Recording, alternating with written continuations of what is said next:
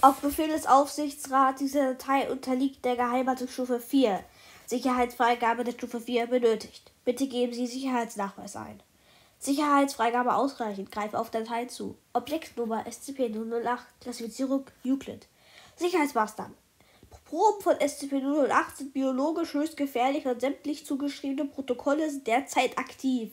Wenn politische oder militärische Handlungen zu einem Abriss der Einrichtung, einem Stromausfall oder ausbleibender Kommunikation mit Mitarbeitern oder externen Kanälen während eines Zeitraums von acht Stunden führen, werden Einäscherungs- und Bestandungsmaßnahmen eingeleitet.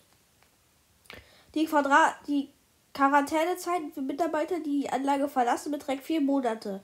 Im Falle eines Ausbruchs sind Einäscherungs- und Bestrahlungsmaßnahmen durchzuführen. Es sollte für alle G2-Standorte die Anordnung gelten, keine Evakuierungsprozedien vorzubereiten. Beschreibung SCP-008 ist ein komplexes Piron, von welchem Proben in jedem bekannten G2-Standort gelagert sind. Die Erforschung von SCP-008 ist hochgradig geheim und richtet sich primär auf Forschungen zu verhindern, die das Synthetisieren von SCP-008 in ferner Zukunft nach sich ziehen können.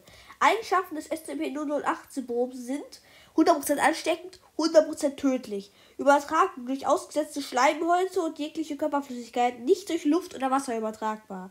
Symptome der Infektion mit SCP-008 manifestieren sich innerhalb von drei Stunden und sind erkennbar durch grippeähnliche Symptome mit Fieber und schwerer Demenz im späteren Stadium, Eintreten von Koma ungefähr 20 Stunden nach Auftreten der ersten Symptome und 12 Stunden nach den ersten Anzeichen von Demenz.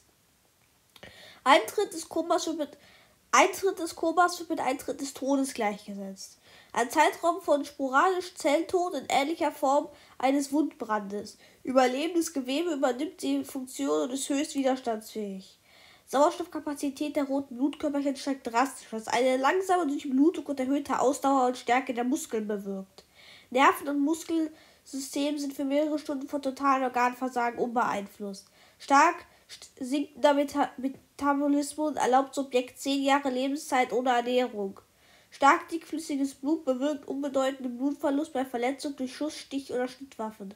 Ausdauer, motorische Kontrolle sowie Instinktverhalten sind beständig, kognitive Lernprozesse erfolgen verzögert und erratisch. Tiere erleiden extreme Gehirnkorrose und sind inaktiv. Subjekt kann sich in einem gestörten Nervensystem anpassen, ist jedoch eingeschränkt auf alle allgemeine Motorik wie Aufstehen auf zwei Beine, das Gleichgewicht halten, gehen, beißen, greifen und kriechen. Subjekt bewegt sich energisch auf gesehene Geräusche und Gerüche zu, die es mit lebenden Menschen in Verbindung bringt. Das Subjekt und versuche lebende Menschen zu verschlingen. Sobald physischer Kontakt erfolgt, Neutralisierung vollständig infizierter Subjekte erfolgt ein erhebliches Schädel-Hirntrauma. Es gibt starke Indizien dafür, dass sich SCP-008 nicht natürlich auf der Erde gebildet hat, da Varianten von ähnlicher Komplexität weite Teile des Ökosystems vertrieben hätten. 1959 wurde infolge der Entdeckung von G2-Standorten und einer kurzen Zusammenarbeit mit der UdSSR verhandelt, die zur Lokalisierung und SCP-008 zu neutralisieren. Der Status von SCP-008 im Besitz von Russland nach Ende der Zusammenarbeit ist unbekannt. Anhang 01 so entdeckt, dass SCP-500 eine Pille, die jegliche Krankheit heilen kann, dazu in der Lage ist, SCP-008 in fortgeschrittenen Stadien vollständig zu heilen.